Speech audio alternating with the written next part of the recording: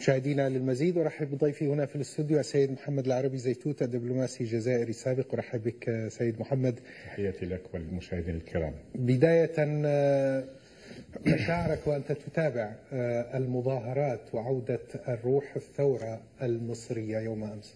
لا يمكن أن نجد لها الوصف. لا يمكن أن أجد لها وصف خاصة أن أنتظرناها لسنوات. وشخصيا كنت من أسعد الناس أمس لأمرين اثنين للمظاهرات العارمة غير المسبوقة في الجزائر ربما جمعة أمس كانت هي أعظم جمعة بعد الجمعة الأولى جمعة 22 فبراير المباركة وبعدها بلحظات كنا نتابع ما يحدث في عدة مدن مصرية. ما حدث طبيعي جدا لكنه تأخر.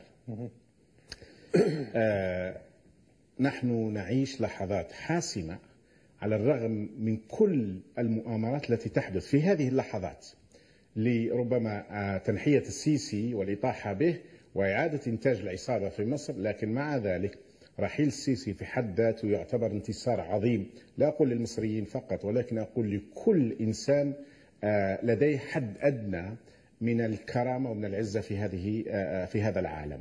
لأن السيسي في الحقيقة كان كارثة ليس فقط على مصر ولكن على المنطقة ككل وعلى كل أحرار العالم. نعم. طيب.